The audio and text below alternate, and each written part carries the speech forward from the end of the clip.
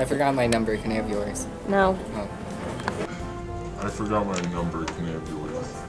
No.